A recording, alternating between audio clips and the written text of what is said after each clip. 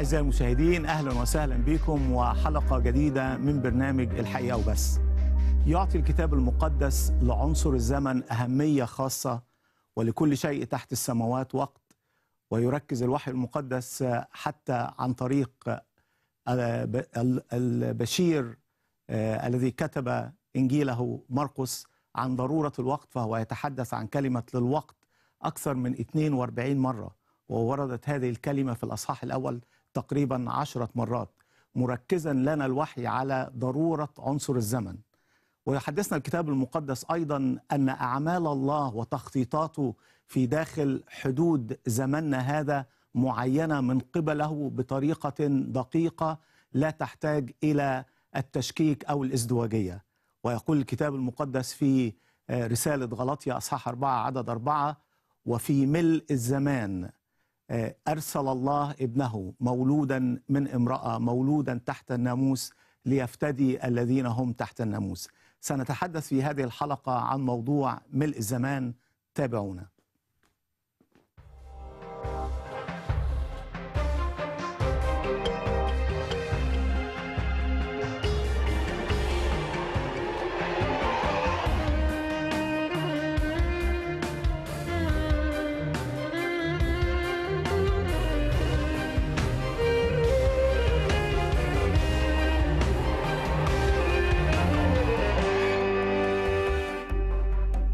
أهلا وسهلا بكم أعزائي المشاهدين في كل مكان. نرحب بكم في هذه الحلقة الخاصة ونرسل لكم تهانينا القلبية في هذا الزمن الذي فيه نتذكر مجيء المسيح له كل المجد وتجسده لكي يأخذ مكاننا وتنتهي قصة عذاب الإنسانية بموت المسيح كفارة وبدليه عن الجنس البشري. يشرفني أن يكون معي للحديث في موضوع توقيتات الله وملء الزمان في هذه الحلقة الخاصة أتشرف بوجود الأخ الحبيب الشيخ يوسف نسان. أهلا وسهلا بحضرتك. اتشرفنا بوجودك معنا. ونشكر رب من أجل استخدامه لك في كل مجالات الخدمة. والشيخ يوسف نسان هو رئيس قسم الترجمة بدار الكتاب المقدس بمصر. والرب بيستخدمك استخدام رائع. فخورين أن تكون معنا في هذه الحلقة لتغني السادة المشاهدين بكلمة الله. وبكل ما تقدمه أتشرف. من مواعيد وبركات. آمين يا رب. آمين آمين. أهلا بيك. أهلا بيك. آه الحقيقة إحنا اتخذنا آه عنوانا لهذه الحلقة ملء الزمان. وكلمة ملء الزمان تحمل أنا بقول إن دي عبارة عن كبسولة في داخلها الكثير. أيوه. عايزين نفتح الكبسولة دي ونشوف ما في داخل معنى ملء, ملء الزمان. الأول المعنى قبل أن نتحدث عن الخلفيه ملء الزمان مش معناها الزمان المناسب أو الزمان الأفضل لكن معناها الزمان الوحيد الممكن. يعني وكأن التاريخ دي صفحة أو مسطرة فيها نقطة وحيدة هي اللي ممكن يأتي فيها المسيح. يعني كأن كل التاريخ وكل الأحداث بتؤدي لي بينا للنقطة دي اللي ما ينفعش قبليها يجي المسيح وما ينفعش بعديها يجي المسيح. تمام. ده الوقت الوحيد الممكن مش الوقت المناسب وبنفاضل بين وقت ووقت. فملء الزمان هو الوقت اللي الله عبأه اللي الله جهزه عشان يأتي فيه ابن الله إلى هذا العالم. جميل جدا. ملء الزمان لها خلفية وترتيبات الله دائما لها المسببات المنطقية الإلهية التي تناسب ما يريد الله أن يفعله بمسرة مشيئته تمام. ففي هنا بيتحدث الوحي المقدس عن ملء الزمان بيتحدث فيما يتعلق بمجيء المسيح تجسده أيوة. وليس وجوده فهو الأزلي طبعا. الأبدي تمام. وهو أيضا موجود قبل الوجود طبعا. فهنا بيتكلم على ملء الزمان يعني الله رأى أن هذا هو الزمان المكتمل المعين لكي يأتي فيه المسيح آخذا صورة. صورة جسدنا أو شبه في شبه جسد الخطية. تمام. ما معنى ملء الزمان؟ ما هو المقصود؟ وما هي مقاصد الله من وراء هذه الكلمة الغنية؟ الرب يسوع ابن الله قادم إلى هذا العالم ليفتقد الله به هذه المسكونة وهذا العالم من خلال عمل سيقسم التاريخ. يعني سيكون فيما بعد شيء اسمه قبل الميلاد وبعد الميلاد. تمام. هذه الحادثة الغير متكررة عادة في أحداث كتيرة بتتكرر لكن هذه الحادثة الغير متكررة خلت القديس أغسطينوس في كل كتب الفلسفة في العالم لغاية اللحظة دي بيقولوا أنه أضاف فكرة أنه زمن ممتد مش دوائر بسبب الحادثة دي. يعني لغاية لغاية وقت أغسطينوس كان إن الفكرة عن الزمن أنه دوائر. أيوه. آه، يعني ال- الزمن الأحداث بتتكرر ال- الأشخاص بتتغير بس الأحداث بتتكرر. لما جه آه، القديس أغسطينوس وقال إنه ميلاد المسيح وصلب المسيح بعد كده أشياء لن تتكرر ابتدى الفكر الفلسفي في العالم كله العالمي الدنيوي يقول يبقى الزمن خط مستقيم مش دوائر زي ما كانوا فاكرين. كويس قوي فجينا إحنا بنتكلم بقى إن إحنا قصاد حادثة لن تتكرر وحادثة ستفصل في التاريخ. في الحادثة دي لازم مسرح الأحداث كله يكون جاهز ليها وبيخدمها. إلهنا إله كل ترتيب من ناحية وإله كل تخطيط من ناحية لكنه إله كل التاريخ وكل الأحداث. فهو في إيده اللحظة دي اللي تقدر تكون آه، جاهز يعني بت- بتستقبل الطفل يسوع الذي جاء لكي آه، يقوم بمأمورية آه، غاية في الخطورة وعظيمة جدا هي فداء الإنسانية كلها والإنسان يعني. تمام. فحضر كل الأحداث عشان تخدم الغرض ده. يعني ما يبقاش في أي معوق إن الأمر ده يتم. تمام. بأي شكل من الأشكال. وعشان يحقق كل نبوات العهد القديم فيها.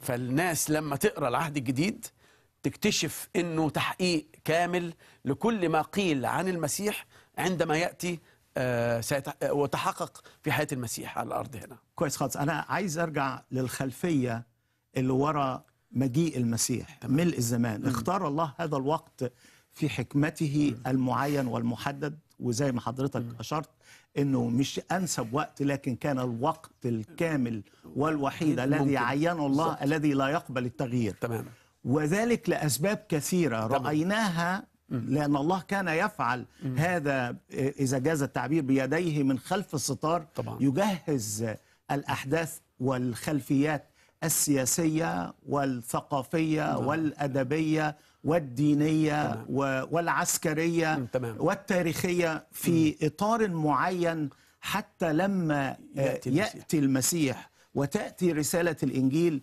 يكون لله مقاصد ويتمم هذه المقاصد عن طريق انه رتب مسرح تمام. الأحداث على مستوى التاريخ باكمله تمام. أنا عايز ندخل, ندخل في ده. الجزئية طيب. ديت آه، مع بعض يعني من الناحيه السياسيه مثلا أيوه من الناحيه السياسيه العالم كله المعروف في ذلك الوقت نعم. ال- اللي بنطلق عليه كلمة المسكونة. نعم. المسكونة كانت من جبل طارق إلى ما بعد آه، دجلة والفرات إلى ما بعد. ودي أكبر مساحة لأي إمبراطورية قبل الإمبراطورية الرومانية اللي بنتحدث عنها دلوقتي أو بعدها. يعني ما فيش في التاريخ كله إمبراطورية كانت بالاتساع ده إنها تحكم العالم بحاكم واحد هو الإمبراطور بجيش واحد هو الجيش الروماني وليه مندوبين في كل مكان وليهم ولاة في كل مكان. هم الممثلين الشرعيين للإمبراطور ده. وكلمتهم أعلى من أي كلمة حاكم آه، محلي. آه، بالإضافة لأن عندي قانون واحد يعني عندي جيش واحد وعندي قانون واحد وعندي حاكم واحد والحاكم ده بيحكم العالم كله. بسبب كده المسيح جه نسبيا في أفضل وقت سلام وأمان واستقرار. ما كانش في حروب بالمعنى اللي إحنا نعرفه. على الإطلاق. في حالات تمرد صغيرة. يأتي المصري يحاول يعمل تمرد لكن كانت بتقمع في لحظتها. عشان كده كانت مسؤولية أي والي في أي مكان هي استقرار المدينة اللي هو بيحكمها. ويخلع تماما لأن دي وظيفته الأولى. يعني ما بيهتموش بفكرة بقى اللي إحنا بنهتم بيها دلوقتي حقوق إنسان وما ذلك ورخاء اقتصادي لا. أهم شيء مطلوب منه إنه يستتب الامن والسلام في المدينة اللي هو بيحكمها. ويكون هناك خضوع كامل لكل للإمبراطورية دي احكام الإمبراطورية. الرومانية. بالظبط. ولكون العالم في حالة من الاستيطان والهدوء آه، تمكن المسافرين إن هم يتحركوا من مكان تمام. إلى مكان آخر لانعدام قطاع الطرق وبالتالي موضوع السفر كان متزايدا. وواضح إن المملكة الرومانية قامت بنشاط غير عادي لم يكن قاصرا فقط على انتصاراتها العسكرية. لكن برضو ادينا خلفية عن الوضع ال ال اليومي لأن عايزين نشوف إزاي ده أثر على ال- رسالة رسالة الانجيل. مثلا ك- كمية كباري طرق معبدة آه، فكرة ال ال ال ال الاستقرار اللي كان موجود بنتكلم عنه فكرة اللغة الواحدة اللي كانت بتحكم العالم كله مع إنها لغة.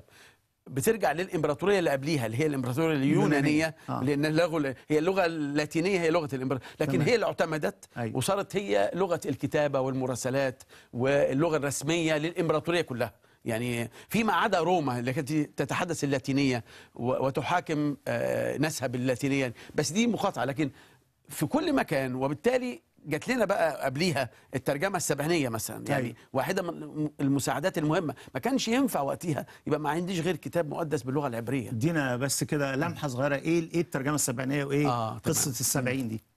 بطليموس الثاني ملك مصر اللي كان بيحكم يعني في ذلك الوقت أشرف يعني بمعنى أشرف بمعنى مول يعني عمل تمويل لترجمة اتعملت في القرن الثالث. قبل الميلاد. أيوة. يعني ما بين 285 و 245 قبل الميلاد. كويس. قاموا بترجمة العهد القديم بالكامل من أول تكوين إلى ملاخي من اللغة العبرية عبرية. إلى اللغة اليونانية. كويس قوي وكويس الناس تعرف إنه من اللحظة دي بقت هي دي اللغة اللي موجودة في المجامع أكتر. يعني مم. كان قليل جدا ما تدخل مجمع يقرأ آه، باللغة العبرية لأنه محتاج حتى اللي يعرف لغة عبرية يبقى معاه مترجم. عشان يترجم من العبري لليوناني. لكن اليوناني كان معروف. كويس. وبالتالي الرب يسوع نفسه آه، اقتبس من الترجمة السبعينية. بولس الرسول اقتبس كثيرا من الترجمة السبعينية. هي المتداولة هي المنتشرة هي اللي ممكن نلاقيها بعض نسخ منها في البيوت وهكذا. آه، لكن الترجمة دي كانت ضرورية عشان كلمة الله تبقى آه، بتجهز شعبه. شعب إسرائيل ش- الشعب اليهودي للكلمة دي لأنه جاء إلى خاصته. آه لم تقبله لكنه في في رسالته من البداية وده اللي كمله بعد كده آه، بولس الرسول. كان يذهب لليهود اولا ثم آه، إلى الأمم عندما يرفض كما رفض آه، المسيح من قبله. لكن إحنا عندنا مسرح آه، آه، كامل آه، منتظر مجيء المسيح من ناحية الإمبراطورية وكأنها بتجهز إنه يأتي المسيح برسالته برسالة الخلاص. عشان الناس تقدر تعرفها وتوصل لها بسهولة مش بصعوبة. تمام. آه يعني وطبعا ل- ل- لسطوة ال- الحكم الروماني في ذلك الوقت وقسوته وصرامته في التعامل مع الناس حتى لا يكون هناك آه، اختراقات قانونية أو تلاعب آه، بأوامر آه، القياصرة آه، آه، وضعوا اليهود أيضا تحت عنفوانهم آه. فكان اليهود يتأوهون في ذلك الوقت من الاضطهاد طبعا آه، بالإضافة إلى عمليات التهجير تهجير. من مكان إلى إلى آخر فنتيجة هذا كان اليهود في ذلك الوقت يتطلعون إلى من ينقذهم. من هذه طبعاً. ويخلصهم من هذه القسوة فكانوا يتطلعون إلى ملك آه. وإلى مسيا لكن المسيا في ذهنهم وفي أفكارهم كان لكي يأتي ويكون شخصية سياسية سياسية عسكرية طبعاً. عسكرية. تحررهم من هذه السطوة ف فكلمة ملء الزمان أو اكتمال هذا العنصر كان جزء منه أن اليهود كانوا ينتظرون مش-. ويتطلعون بالظبط. ويشتهون طبعاً. لمجيء هذا المسيح الذي يخلصهم من سطوة الرومان على فكرة قبل المسيح ما يجي في تسعة مسحاء كذبه جم أيوه يعني كل واحد ادعى إنه المسيح واليهود استقبلوه بالتصفيق وال و... و... و... وفرشوا الأراضي آه. آه. طبعا آه، آه. كانوا متوغ... وواحد منهم من التسعة دول هم مذكورين في التاريخ أيوه آه ذهب إلى جناح الهيكل أيوه ورمى نفسه على أساس إن الملائكة تحمله. تحمله. نزل ما ما ما, ما, ما قامش آه. لكن الفكرة زي ما بنقول الكتابات اللي اسمها ما بين العهدين اسمها كانت كلها كتابات رؤوية وكده مرتبطة بمجيء مسيا عشان يخلصهم من آه، العبودية ومن القهر اللي هم عايشين فيه. لكن نتيجة القهر ده بقى ونتيجه الظروف الصعبة اليهود تشتتوا في كل بقاع العالم. نعم. وبقى عندي مجامع في كل مكان فيما عدا مثلا مدينة فيليبي لأنها كانت مستعمرة، لكن فيما عدا ذلك أي مدينة راحها بولس أو بطرس أو واحد من الرسل كان في مجامع. وبالتالي بداية الكنيسة الحقيقية، بداية التبشير من كل الرسل كانت الذهاب إلى المجمع اولا. تمام. والمجمع ما كانش مجرد يهود، كان فيه يهود وأمم. تمام. وده واضح جدا في سفر الأعمال. مم. والرسالة ابتدت من وكأني فتحت مراكز أو فروع عشان أبتدي الرسالة وما ابتديش مش لازم أبني كنيسة مش لازم أبتدي لا أنا عندي مكان أقدر يعني الرسالة تنطلق منه يعني تلخيصا لحتة ملء الزمان قلنا نقطتين مهمين وهو إن الحكم الروماني بدأ في تعبيد وبناء الطرق وربط البلاد بعضها بالبعض وازدياد التجارة وبدأت اللغة اليونانية تكون لغة ال- التجارة ولغة التواصل ولغة الحوار وبالتالي سمعنا أيضا كيف أن العهد القديم آه، أو التوراه ترجمت من اللغة العبرية إلى اليونانية. فده خلق ناحيتين خلق نتيجة تعبد الطرق. ونتيجة ربط العالم ونتيجة الأمان الذي لم يعرفه العالم سابقا من قطاع الطرق إلى آخره بدأت عمليات التجارة والسفر تتزايد. فلما آه، آه، جاء ملء الزمان أي حين كان اليهود يتطلع لتتميم نبوات العهد القديم قديم. في مجيء مسيا. ده بالظبط. واحد. صح. نمره اثنين ربط هذه البلاد بالطرق والكباري إلى آخره وزي ما التعبير المشهور كل الطرق تؤدي, إلى روما. ده ليه خلفية طبعا. آه. الخلفية كان بتاعته. فعلا بتتقاس المسافات. بالظبط. والمسافات كانت بتتقاس بحيث. أنت بتسافر من بلد عارف. إلى أخرى تبقى عارف عدد الأميال. وهم بدأوا الحقيقة عمليات صح. الإحصاء أيضا وال... والاكتتاب. والتسجيلات. والاكتتاب. وبالتالي بدأت عملية الربط فسهلت على آه، مأمورية نشر الإنجيل في ذلك الوقت من بلاد إلى بلاد بعيدة وكان هذا ترتيب أو. تحت كلمة ملء الزمان. الترتيب الإلهي بالنسبة للغة اليونانية أنا عايز آه. أنتقل لهذا الفكر آه. والفلسفة اليونانية أيوة. كيف كان تأثير هذا وما هو العامل الذي قامت به لكي يتقدم انتشار الإنجيل في ذلك الوقت نتيجة التعيين والتدبير الإلهي. آه. يعني مثلا كلمة لوجوس اللي هو اعتمد عليها البشير يوحنا في الإصحاح الأول دي كانت أساسها كلمة يونانية وكانت معروفة إنها بتتكلم عن عقل الله تمام. عن الحكمة. وبالتالي ابتدى آه، يوحنا البشير آه، يتبنى الكلمة دي عشان يشاور على يعني حكمة الله الكاملة عن كلمة الله. وكيف أن الكلمة كانت بنت العقل فكل دي يعني. يعني حضرتك عايز تقول إن في وقت يوحنا لما كان يتكلم عن الكلمة الناس اللي كانت قاعدة فاهمة. كانت فاهمة. طبعا طبعا. عكس اللي إحنا النهارده بنحاول نشرح صح آه، بالظبط هم آه. عارفين يعني إيه لوجوس. تمام. يعني تمام كده. ف... فالثقافه دي كلها جهزت. بس أنا بقول ده ده التجهيز العام. نعم. لكن في كان تجهيز خاص بالرب يسوع بقى. آه. إيه، نفسه. يعني يوم مولده مش مش مش تاريخ مولده اليوم اللي اتولد فيه. وبعد كده الأحداث اللي تلت ميلاده وهروب العائلة إلى مصر. ورجوعها من مصر.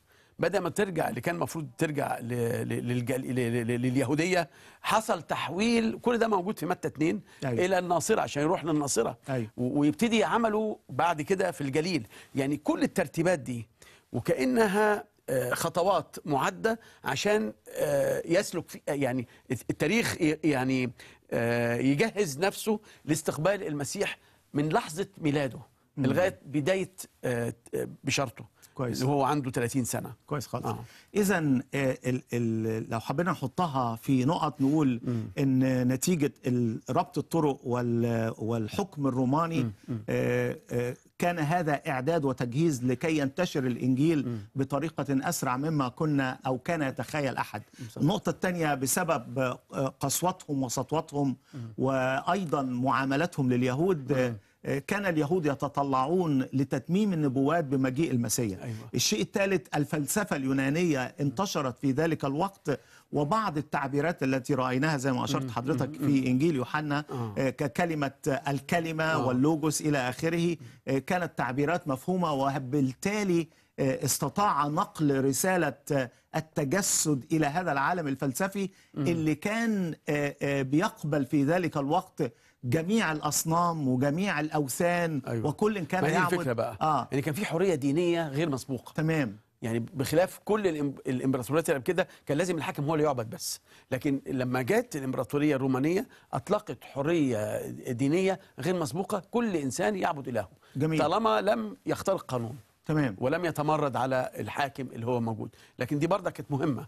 وهذه ال- ال- الأصنام والأوثان تركت فراغا لأنها لم تعطي للإنسان بغيته ورجاء ولم تتجاوب معه لأنها مصنوعة بيد إنسان. طبعا. فكان الإنسان يتطلع وعنده فراغ روحي ينتظر أن أن أنه يوجد إله آخر يشبع ويملأ هذا الفراغ. فكان هذا أيضا إعداد على المستوى العالمي ل- للإنسان بطبيعته الفارغة نتيجة عبادة الأوثان. وبالتالي كانت كمان روما آه، آه، عندها زي ما حضرتك قلت آه، فاتحه الجو لجميع الآلهة. أي حد يعبد الإله بتاعه وبالتالي تقدر تجتذب كل المواطنين من أنحاء العالم المتعددة أو أو أقصد يعني ال- المسكونة في ذلك الوقت. وتصير هي بالتالي المركز الأول والأخير على المستوى العالمي لكن هذه الأوثان وهذه الآلهة تركت فراغا في الإنسان فلجأ الإنسان في ذلك الوقت للفلسفات آه، بالظبط بالظبط فرأينا- كبديل فعلا آه. عشان كده في اريوس باغوس مثلا في أيوة. أعمال 17 بنكتشف بولس أمام معبودات كثيرة آه، جيروم بيقول لنا إنه كان في 300 آه، إله, إله. في ذلك آه. منهم 50 آه، مكتوب لي إله أو إلهة مجهولة تمام. يعني مش معروف أسمائهم تمام. من من ضمن ال 300 لكن لو هو موجود كمين مع الابيقوريين والرواقيين الفلاسفة أيوة. وكلهم فعلا بيدوروا بشكل. أو بآخر أيوة. عن إله حي إله حقيقي. آه. غير اللي بينادي بيه الأصنام دي. ودي فتحت آه، مجال جديد لإخراج الإنسان من ظلمة الأوثان إلى الفلسفة. أيوه. فابتدى يترك هذا ال- الوضع ال- ال- الفكر المظلم وابتدى يدخل فشفنا بقى الفلاسفة اللي ظهروا أرسطو وسقراط وال- والناس دي كلها. فعلا.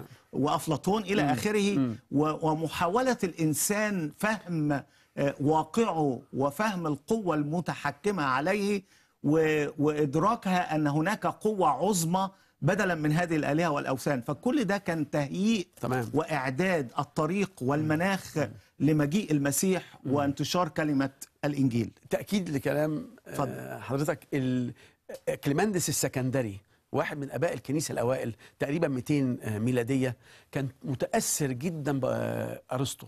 يعني اللي بيقرأ كتابات كليماندس الروماني ثم جه بعديه القديس أغسطينوس في القرن الخامس كان متأثر بشكل غير عادي بأفلاطون. يعني كتير من كتابه ففعلا الفلسفة كانت كأنها بتجهز الإنسان بتنقله من مرحلة الجهل والخرافة إلى مرحلة العقل والتفكير دماغه. بالظبط آه، كده آه. لذلك هم قالوا بفكرة إنه لازم يكون في علة أولى آه. وفي محرك أول. آه. يعني يعني في مسبب أول للأشياء فكرة الخالق يعني تمام. هم دول أول ناس نادت بكده حلو خالص إذا يعني لما لما نبتدي نبص بنظرة ثاقبة ومحللة لما كان يحدث في ذلك الزمان لوجدنا أعزائي في كل مكان أن الله كان بإحكام شديد وبقدرة فائقة وبروعة وجمال وب ب آه، آه، يعني آه، نغمة وأنظومة في غاية الروعة يعد المسرح تمام. ويعد الأحداث ويعد العالم. الإنسانية. والتاريخ والعالم.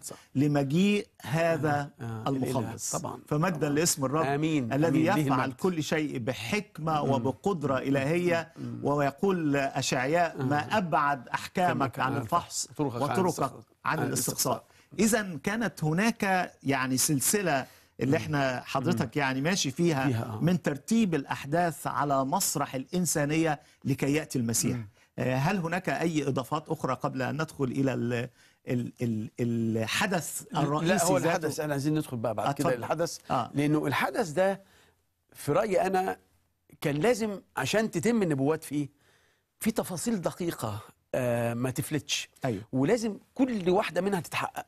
يعني إحنا مش بنختار. إحنا مش بننقي إن لا. إحنا نتمم 50% أو 60% من النبوات ونكتفي. هي لازم تتحقق 100% وإزاي تتحقق؟ في شخص واحد وفي وقت واحد. هي دي بقى وهذا الإعجاز هو, هو دليل الإعجاز. على أن هذه. هي كلمة بس الله 100%. وليس تخمينا وما نجيش. بقى نقول في عهد جديد وعهد قديم بالظبط. ما ينفعش آه. هو كتاب واحد أيوه. يعني إحنا بنقسمه أيوه. تقسيمة عشان يعني زي ما بنقسم الأصفار لكن في النهاية هي كلمة الله لتسهيل الفهم آه أكثر. لكن هي كلمة الله آمين يعني آمين آه. طيب أنا عايز أ- أرجع مع حضرتك للجزئية اللي اتكلم عنها الوحي في آه، آه، مرقس أصحاح واحد ونفس التعبير تقريبا أو آه، التعبير المشابه اللي بيتكلم عنه وأقرأ من عو من عدد 14 آه، مرقس واحد 14 وبعدما أسلم يوحنا جاء يسوع إلى الجليل يكرز ببشارة ملكوت الله ويقول يعني آه. بولس قالها وهنا كمان يوحنا قالها. لا الرب يسوع بقى هنا. آه، آه، يكرز ويقول قد ك- قد كمل الزمان زمان. واقترب ملكوت الله فتوبوا وآمنوا بالإنجيل. ده بس. آه، بعد ما أسلم يوحنا. بعد ما أسلم يوحنا. ابتدى آه، بقى هو خدمته تمام. آه. يعني تاني نرجع بعد وق وق وقال قد كمل الزمان واقترب ملكوت الله. الأول ما معنى ملكوت الله؟ أوكي. وبعدين ما علاقة ملكوت الله ب ب ب بالعبارة اللي قبليها كمل كمل الزمان. الزمان. ملكوت الله هو سيادة الله سيادة الله هي ملك الله في هذا العالم من خلال أشخاص يعني من خلال كنيسة مثلا من خلال جماعة زي التلاميذ. ابتدى أو افتتح هذا الأمر يوحنا البشير. يا سوري يوحنا المعمدان. يوحنا المعمدان تمام. كلم عن نفس العبارة. اقترب ملكوت الله. تمام. لكن كل ده لم يتحقق إلا عندما جاء المسيح. تمام. يعني اللي افتتح الافتتاح الرسمي إنه يتحقق أو يبدأ ملكوت الله في التحقق هو شخص الرب يسوع.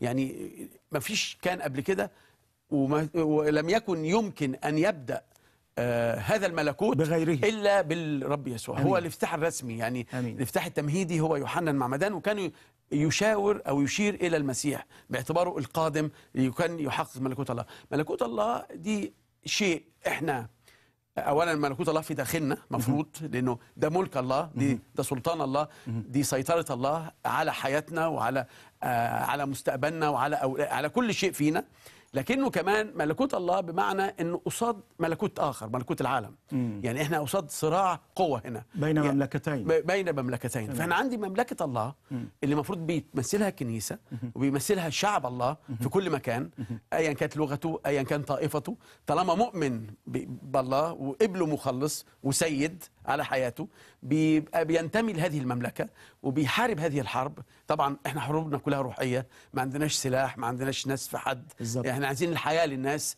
وبالتالي إحنا كل اللي بنقدمه للناس هذا الملكوت لكي يمتد ولكي آه، يعني ي- يتسع بشكل أو بآخر يضم آخرين. يعني ملكوت يأتي في قلوب الناس وليس نت... ولسنا نتحدث عن ملكوت حسي أرضي, أرضي, ابدا. مادي. لا طبعا طيب آه، أعزائي المشاهدين نتوقف عند هذا الفاصل وقبل ما نخرج الفاصل آه، أحب أذكركم أن إحنا بنرحب بمداخلاتكم وأسئلتكم المتعلقة بموضوع ملء الزمان وأهلا بكل آه، المشاهدين في كل مكان بأي أسئلة أو أي تعليقات آه، سوف نعود لنواصل الحديث فابقوا معنا. يا مسافر يا غريب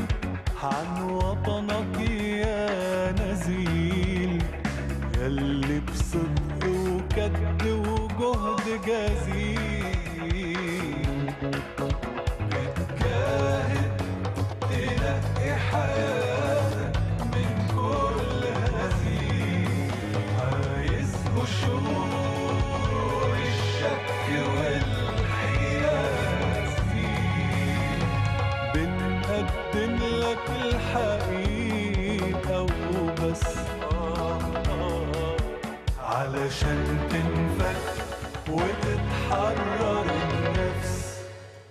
أهلا وسهلا بكم أعزائي المشاهدين. نواصل الحديث في موضوع ملء الزمان. آه، هلخص بسرعة وأدي الفرصة لحضرتك تاخد. ال- الخيط. لا، لا، لا. نكمل من هنا.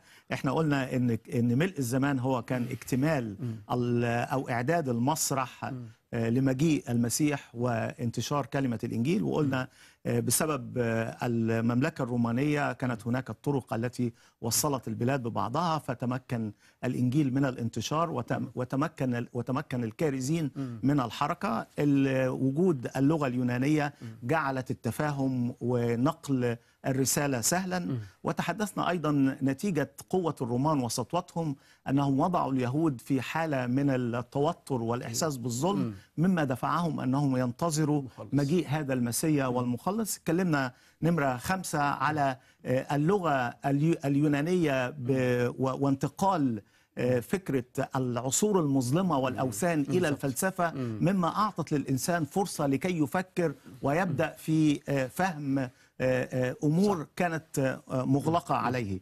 وكلمنا بعد كده على الأمن والسلام. كيف أن الأمن والسلام استتب والعبادات الوثنية تركت الإنسان في حاجة إلى هذا الإله المجهول. اكتمل اكتمل المشهد وجاء المسيح له كل المجد في ملء الزمان. آه، عايز ناخد من أول مجيء المسيح وماذا كان يعني للبشرية وما هي الرسالة التي جاء بها التي جعلته يغير التاريخ بكل تفاصيله. آه. أنا قبل الرسالة اللي. اللي أنا عايز أتكلم عنها بتكلم عن لماذا جاء بقى المسيح ولد في هذا الزمان بالذات. تمام. ليه مش قبل كده ب 50 60 سنة أو بعد كده ب 50 60 ويطرح سنه كثيرين هذا السؤال. آه طبعا. آه. ليه- وماذا حدث للذين ماتوا قبل أن يجيء المسيح؟ آه آه. اتفضل. يعني جاء المسيح وكان لا يعني كان ينبغي أن يأتي في ظل هذه الدولة الرومانية أو هذه المملكة الإمبراطورية الرومانية اللي كانت بتحكم على ال ال في حالة الإعدام آه، بالصلب. يعني لو المسيح في إمبراطورية تانية غير هذه الإمبراطورية لو كان في إيد اليهود مثلا ولازم ناخد بالنا إنه قيافة نفسه قال في يوحنا 18 إن إحنا مش في إيدينا إن إحنا ننفذ الحكم ده آه، أو حتى نصدر الحكم ده حكم موته. دي لازم نرجع لبيلاطس صح. فاضطروا لكده يعني هم لو كان في إيديهم يعني كانوا هيرجموا المسيح زي ما حاولوا يرجموا بولس كتير وزي ما حاولوا آه، رجموا استفانوس لكن لو في إيديهم لكن لأنه الأمر كان مرتبط ب آه، بروما وبحكم أو قانون روما فنفذ على شخص الرب يسوع آه، القانون الروماني اللي هو الصلب. الصلب لكن كمان وبالتالي لكي تتم النبوات بحذافيرها. 100% ما هو غير كده كان صحيح. ما فيش مخرج. نقطة جميلة. الأمر الثاني فكرة الاكتتاب. أيوه.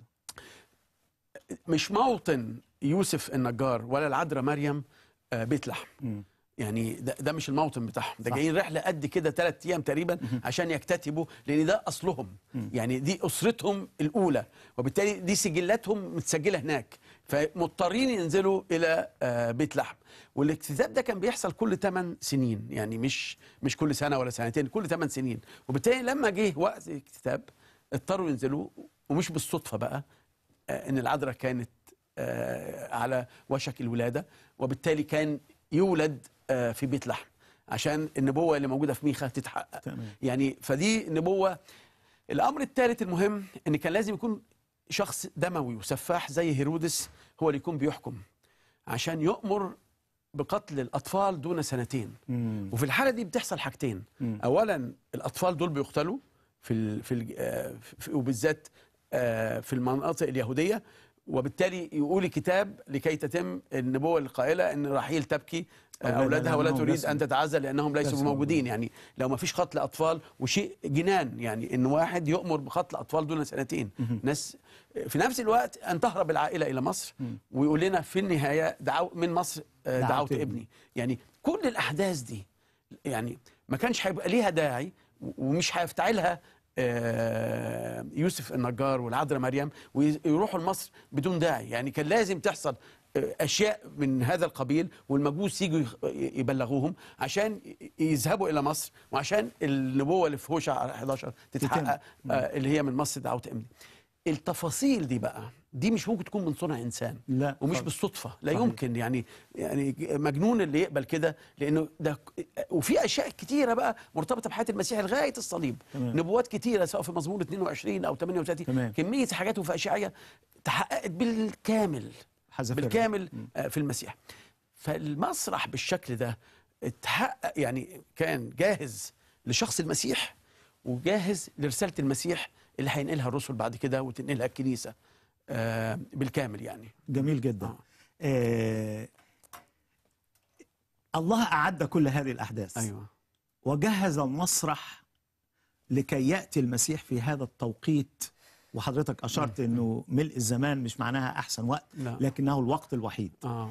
آه قبل ما ننتقل لحتة تاني بيسأل البعض أن المسيح جاء وولد وتربى وكبر وحتى وخدم آه. ثم ذهب إلى الصليب ثم صلب وقبر وقام وبذلك وصعد وبذلك أعطى لنا بقيامته بموته وقيامته رجاء الخلاص والحياة الأبدية. طب ماذا للذين لم ينعموا بهذا الوقت والتزامن وماتوا قبل أن يجيء المسيح؟ أوكي. ربما من خلفيات ليست يهودية خلفيات وثنية. أخرى أو وثنية. فما هو حكم الله على هؤلاء؟ أيوة. لأن المسيح لم يكن قد جاء.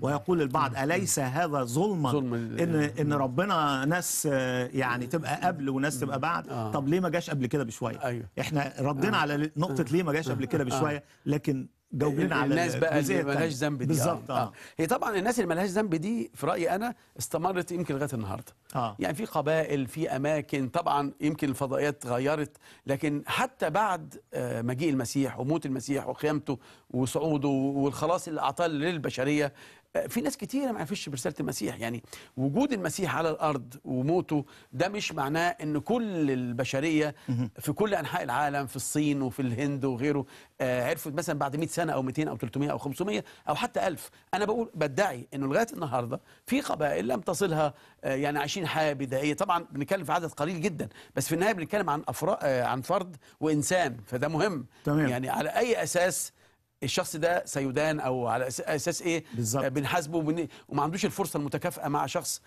كان عنده فرص كتير يعرف المسيح ورفض المسيح يعني في ناس رفضته بعد ما عرفته أو تمام. أو سمعت عنه مم. في رأيي أنا بولس الرسول في روميا آه يعني قطع آه الشك باليقين تمام أن الذين بلا ناموس. يعني حتى قبل اليهودية يعني قبل. ما يجي المسيح.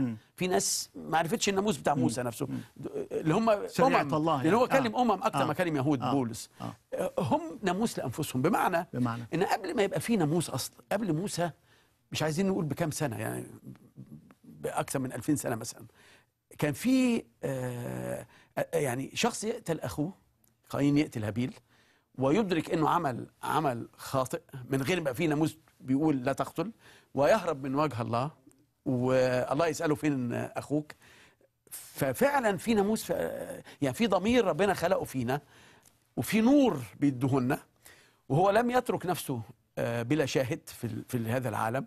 وبالتالي إحنا بنعرف إن الله موجود إحنا بنتجاهل إحنا بنتمرد إحنا بنبني بقى البرج بتاع بابل بتاعنا. إحنا بنحاول آه، آه، ناكل من شجرة معرفة الخير والشر آه، ونتمرد وناخد إحنا مكانه الله في حياتنا إحنا وفي وفي حياة المجتمع اللي إحنا بنعيش فيه.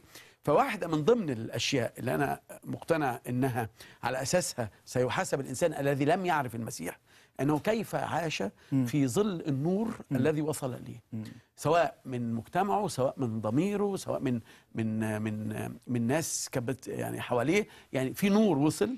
بقدر النور بقدر المحاسبة مش أنت لم ترفض المسيح أنت لم تعرف المسيح. مم. أنت كأنك عشت آه، زمان ما قبل المسيح. وبالتالي ده طبعا يعني ينطبق على الذين جاءوا قبل المسيح في أمم وثنية ما عرفتش حتى اليهودية ما كانش عندها انتظارات ما عندهاش شريعة ما عندهاش إبراهيم ما عندهاش موسى وبالتالي آه، جزء ده, ده إلا لو كان عند حضرتك لا كلام. آه، كلام جميل يعني اذا الله عادل جدا ولن جداً. يظلم إنسانا لا، لا، لا، لأنه لا. كان في وقت قبل مجيء المسيح ولم يسمع عن هذه الكفارة بس الناس دي مشكلتها إيه؟ آه أنها لم تعرف الله آه. المعرفة الحقيقية أيوه يعني لم تعرفه كآب على الأقل. يعني لم تتمتع لم بكل تتمتع بركات. ابدا آه، ابدا. آه. لأن إحنا إحنا تمتعنا بالابن آه. وتمتعنا بالآب. آه. ليس أحد يأتي إلى الآب إلا به.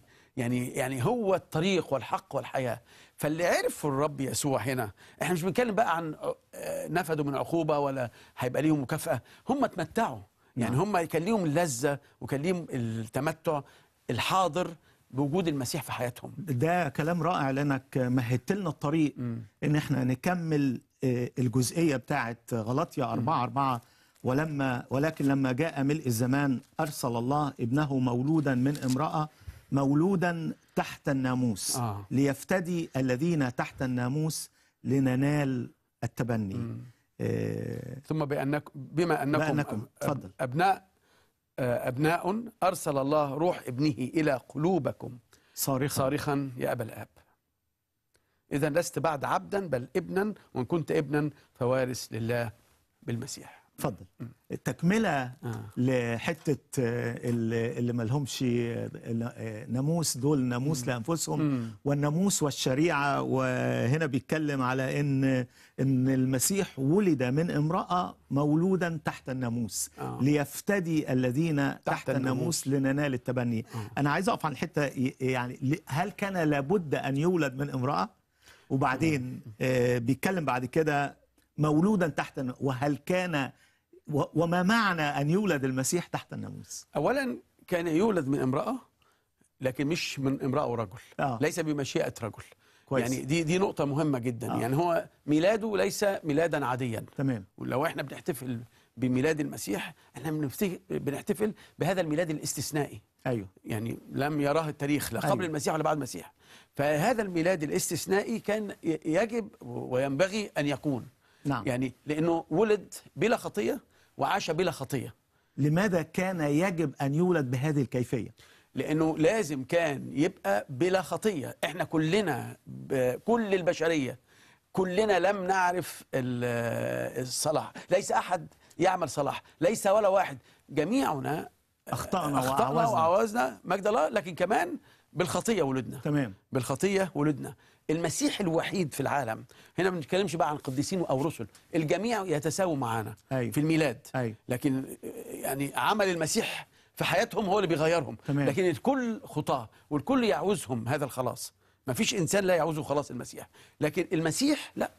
المسيح كامل مكتفي لا يحتاج آه، آه، يعني لم يتلوث من ميلاده إلى آه، قيامته بأي خطية. هو شال من علينا الخطية. يعني هو أخذ حمل الخطية يعني تمام. صار خطية من أجلنا تمام. عشان نكون إحنا بر الله فيه تمام. لكن في النهاية المسيح آه، ولد من عذراء فلم تمام. يأتي من الملائكه ولد من عذراء آه، وكان يبقى زي ما مكتوب آه، من امرأة مولودا تحت الناموس يعني كان موجود زينا آه، يعني آه، زي ما بيتقال عن إيليا. كان إنسان إيه تحت الألام ألام مثلنا يعني آه. بس هو صلى آه. المسيح في كل شيء تشابه معنا مم. يعني ما فيش شيء إلا في آه، ما خلا الخطيه مم. يعني في كل شيء مم. التجارب المر بيها هو أنا في رأيي أكتر منها بكتير مم. يعني سواء من لحظة مولده مم. وهذه العائلة الفقيرة لغاية كل حياته اللي كانت مليانة اضطهاد ومطاردات ولغاية صلبه آه، وهو البريء آه، براءة كاملة لكن كل التجارب اللي مر تجربته تجربة إبليس معاه كل الأشياء دي بتخليه إنسان كامل حاسس بينا حاسس بتجاربنا آه، عايشها معانا مدرك لضعفنا آه، وبالتالي هو اللي بيعنا يعني هو اللي بيرفعنا في الوقت ده. وبالتالي إحنا أولاده فعلا. نعم. إحنا أولاده. نعم. وبالتالي بالتبني. بالتبني. آه. آه. إحنا أولاده. آه. آه. وإحنا ورثة. نعم. بالمسيح يعني لله بالمسيح. نعم. يعني إحنا لينا كل المواعيد. يعني اولا مش بس دايما الناس باصة للسماء. السماء ابتدت هنا صحيح السماء ابتدت آه. هنا آه. يعني هللويا ابتدت هنا أيوة. المجد ابتدى هنا أيوة. هيكتمل هناك مشتاقين له جدا يعني الاشتهاء أن أنطلق وأكون مع المسيح ذاك أفضل جدا لكن وجودنا هنا أيضا في عشرتنا وفي شركتنا وفي وهذه هي الحياة أن الابديه يعرفوك. أن يعرفوك أنت يعني هي, يعني هي صح- دي صح. الحياة الأبدية بتبتدي هنا. آه. من لحظة ما بتعرفه اذا كان لابد أن المسيح يولد من امرأة تمام. آه لكنه لا يتدنس ببذرة بشر لأننا كلنا بالخطية آه ولدنا. ومكتوب وبالخطية حملت حبلت حبلت بالظبط. بي أمي فالمسيح لم يتلوث بالإضافة إلى أيضا آه، تكوين ثلاثة أن نسل المرأة المرأة. دي في بالظبط. غاية الأهمية تمام. برافو. تحقيق. آه، الأولى عن والرجاء الأول الذي قدمه الله في جنة عدن للإنسان الساقط فكان لابد أن يولد. وهو جرب في كل شيء مثلنا. مش عارف أنا بقول ب- الكتاب بيقول بلا خطية. آه. يمكن ما عدا الخطية مش تعبير دقيق؟ ممكن. لأنه اختبر. لا هو بلا خطية طبعا. هو بلا خطية. لا لا لا, لا, آه. لا أنا آسف. لكن جر لا لا جرب لا في لا، كل شيء. كل شيء طبعاً. آه. آه، لا. و- وبالتالي هو الكامل الوحيد الذي بذلك آه. كان له الحق والأهلية. أن يفتدي وأن يخلص. طبعا طبعا. مبارك اسم الرب. آمين. مبارك طبعاً. اسم الرب. مبارك اسم. الرب. مولودة من امرأة مولودا تحت الناموس. آه. ليفتدي الذين تحت الناموس. اللي هو إحنا. كل آه. البشرية. لننال التبني. لكل البشرية. أيوه. لكل البشرية. يعني بينقلنا من آه، سلطان الظلمة إلى آه، سلطان ابن محبته. يعني تمام. آه. بيغير. آه. آه، آه، حتة ال- ال- الناموس أو الشريعة هل كانت الشريعة سببا لتقريب الإنسان إلى الله؟ آه. واعطائه آه، املا أنه يمكنه الخلاص من ضعفه ومن خطاياه؟ كويسه جدا السؤال ده. الشريعة كاملة. تمام. دي شريعة الله. ده كلام الله. مز- بالظبط. وده آه. اللي قاله ال- القديس يعقوب في رسالته. كويس. آه، هي آه، الناموس كامل. تمام. فما فيش عيب في الناموس. العيب ممكن يكون في الإنسان. تمام. اللي مش هيقدر ابدا تحت أي مسمى يطبق الناموس. ما فيش إنسان يقدر يطبق الناموس. تمام. وبالتالي بحسب غلطي أيضا المسيح آه، الناموس كان مؤدبنا إلى المسيح. اتكلم في غلطي على حتة التأديب دي. ممكن تدينا فكرة؟ مؤدبنا. آه على حتة مؤدبنا هقول مؤدبنا و- بقى آه، يعني. آه. مؤدبنا ده كان العبد الكبير اللي في البيت. كانوا بييجوا يدوا الطفل اللي عنده 3 4 سنين لغاية لما يبلغ 12 سنة. و... كويس؟ ويقولوا له تروح معاه المدرسة وترجع معاه المدرسة. وهو الشخص الحكيم اللي جوه البيت. مم. يعني هو أحكم عب- عبد مش لازم يكون أكبر عبد لكن أحكم عبد مم. وأكتر شخص أنا بثق فيه. مم. وبقول له تروح معاه المدرسة وترجعه المدرسة وتتاكد إنه عمل الواجبات. مم. وتشوفه بياكل إزاي وتعلمه ياكل صح. وتشوفه بيعامل الناس اللي أكبر منه إزاي ويخليهم يعاملوا صح. فده هذا المؤدب وده كان مشهور جدا في البيوت اليونانية والرومانية هذا المؤدب هو الناموس. هو اللي مؤدبنا إلى المسيح هو اللي بيحضرنا إلى المسيح هو اللي بيأهلنا أو بيأهل ال- ال- البشرية إنها تستقبل المسيح. ما كانش ممكن المسيح يجي قبل كده. وال- والبشرية لم يكتمل نضوجها في استيعابها لهذا النور. عشان كده أنا بقول دايما آه، فكرة آه، تدرج الإعلان الإلهي والنور الإلهي. ما ما بيقولنيش اللي قبل كده غلط. بالعكس هي قدرتي أنا على استقبال هذا النور وهذا الإعلان هي اللي ضعيفة يعني أو بتقوى. أو خبرتي مع الله بتزيد مع السنين. ما كانش ممكن الله من البداية إلا ويبتدي بالناموس. صح. و و و و حتى على الأقل يثبت للانسان لنفسه أنه لا يستطيع. عاجز ولا تمام. يمكنه إرضاء الله بقوته وطبع- وطبيعته والا هيجي يقول آه، كنت اديتني فرصة. كنت. خلصت آه لا لا لا لا ولا حد فخد الفرصة آلاف السنين آه، هو فيش آه، فيش والجميع. أخطأوا. آه، وعوزهم آه، مجد الله تمام. ليس من يعمل صلاح كويس خالص واحد. اذا يعني الناموس كان زي ال- العبد أو المربي ده. اللي كان بيهتم ياخد بالقاصر البشرية كلها بالظبط آه. البشرية القاصرة لأنها لم تصل إلى مرحلة النضوج النضوج وال- الكامل في إرضاء وال- الله وبالتالي أثبت الإنسان عجزه عن إرضاء الله بذاته وبقدرته وبالتالي أيضا الناموس كان حاكما على الإنسان بالخطيه آه بالفشل. والفشل. تماما طبعا. آه. إنه يبني علاقة سليمة مع الله وإنه يجيب خلاصه بنفسه باعماله مستحيل. هل دي لها علاقة مولودا تحت الناموس؟ ال- اللي هو؟ اللي هو حتة الناموس وال وكل و و وإثبات عجز الإنسان أمامه. إن آه. المسيح جاء مكملا لما عجز ما هو كلنا تحت الناموس. آه. آسف في التعبير. آه، حتى آه. رب يسوع نفسه. آه. يعني مولود آه مولودا من امرأة مولودا تحت الناموس. آه. والناموس هو اللي موجود آه. هو اللي سيد كويس. لكن ليس كافي. أيوه. عشان يخلصنا أو يحررنا من آه، حالة الخطية والضعف اللي إحنا عايشينه وال آه، ما نقدرش نبرر نفسنا ما نقدرش نخلص نفسنا ومحتاجين إلى مخلص وإلى فادي. والمسيح جاء لكي يحررنا من هذا السلطان إن إحنا نكون تحت ناموس ومش قادرين نوفيه مش قادرين آه، نطبقه تمام. وبعدين بيتكلم لننال التبني ثم ثم بما أنكم أبناء أرسل الله روح ابنه إلى قلوبكم صارخا يا آبا الآب اذا لست بعد عبدا بل ابنا وإن كنت ابنا فوارث لله بالمسيح. إحنا قدامنا تقريبا 8 دقائق آه. نفسي حضرتك تركز لنا لكل مشاهد كيف ننال التبني وما هي امتيازات الإنسان الذي يتبناه آه، في هذا السياق آه، المعنى الروحي وكيف واضح. أصير مم. ابن لله. آمين يا رب. آمين. اولا نصلي لكل المشاهدين. آه إنه مش كلماتنا هي اللي تغير شخص المسيح نفسه آه عندما تتقابل معه هو القادر وحده إنه يغير حياتنا. أما كل الذين قبلوه فأعطاهم سلطان أن يصيروا أولاد الله. أي المؤمنين باسمه. أي شخص هنا النهارده بيسمعنا هيقبل المسيح مخلص. وهنا مخلص ورب. أنا مش بقبل بس خلاصه أنا بقبل سيادته على حياتي.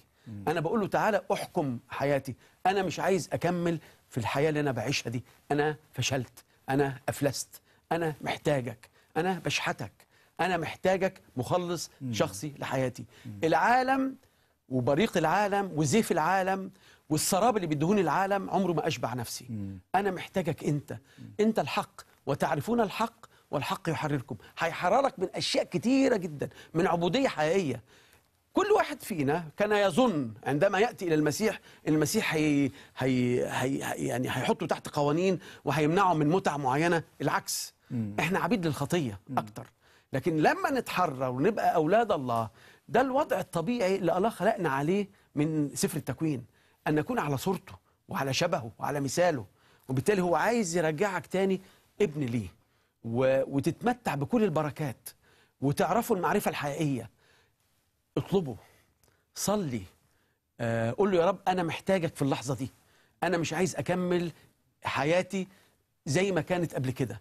أنا عايز أعرفك. زي ما عرفوك ناس كتيرة واتحررت السلام الحقيقي هتعرفوا معاه. سلامي أترك لكم. سلامي أعطيكم. ليس كما يعطي العالم. اللي زي السلام هيديك بردك فرح مش بيديهولك العالم. يعني هيديك أمان. الأمان مش في الأماكن. يعني الناس بتهرب من مصر وبتهرب من دول عربية. فاكر الأمان هيبقى في أمريكا أو في أستراليا أو في فرنسا أو غيره؟ لا الأمان هو فيه. أمين. مفيش أمان غير فيه هو. أمين. هتشعر بعد كده إن حياتك بقى ليها معنى. وإنك بت- بتنظر لأبدية حقيقية. وإنه مش العالم ده بالنسبة لك مجرد مرحلة انتقال بتحاول تستثمر فيها وقتك وجهدك عشان تضم ناس تانية آه، للأبدية اللي أنت هتعيش فيها دي. الحقيقة كلمة آه، لننال التبني وبما أنكم آه، أبناء أرسل الله روح ابنه إلى قلوبكم صارخا يا أبا الآب. يعني أنا لما بقف وأفكر في ما يقوله الوحي والامتيازات التي تمتع بها الإنسان الذي قبل المسيح مخلصا.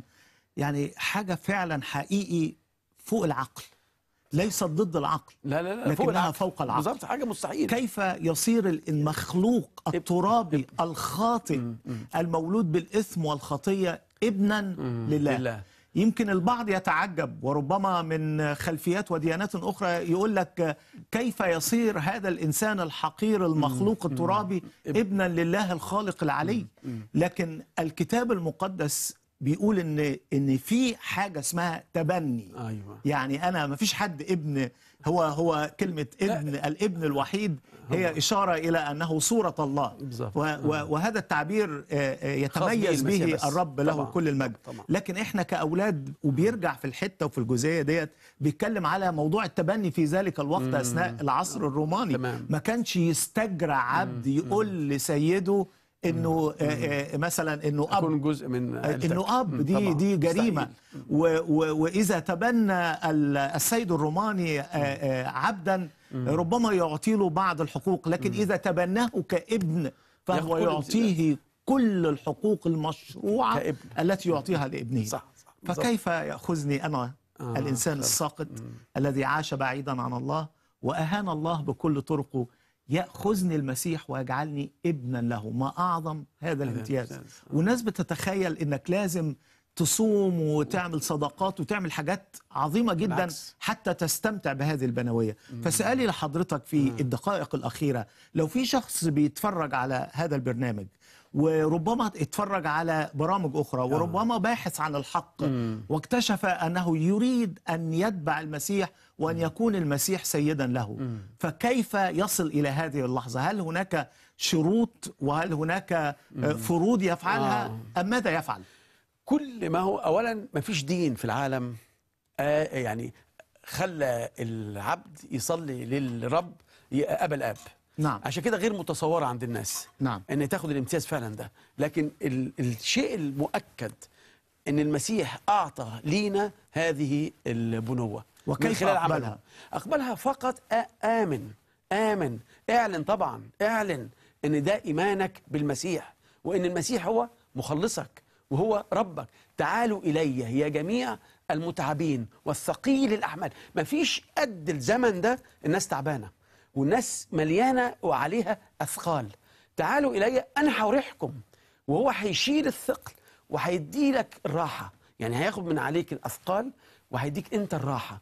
هيديك الراحة بمعنى إنك هتكتشف عظمة العمل اللي عمله من أجلك وسمو المكانة اللي هياخدك بقى من المزبله مم. يعني خدنا كلنا من المزبله مم. صحيح وحطينا مع أشراف شعبه نعم. إحنا في الآخر كنا إيه ولا نستحق وهنعيش دايما مديونين بالعمل ده عمرنا ما هنشعر إن ده كان بكفاءتنا أو بأعمالنا ابدا ليس من أعمال لكي لا يفتخر. أحد أمين. ده هو عمله هل هل هناك صلاة بسيطة يمكن أن تصليها مع المشاهد يكررها من كل قلبه ويقول هذه الكلمات وكأنها كلماته ليطلب أن الله يفتح أحضانه ويستقبله. يبقى نختم البرنامج بهذه الصلاة. يا ريت.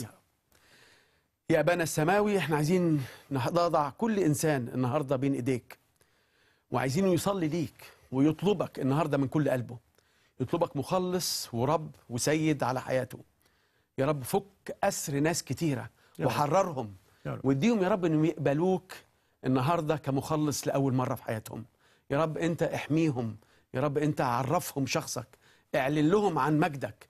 وخليهم أولاد حقيقيين ليك. يا رب خلي صلاتهم انهم بيسلموا نفوسهم ليك.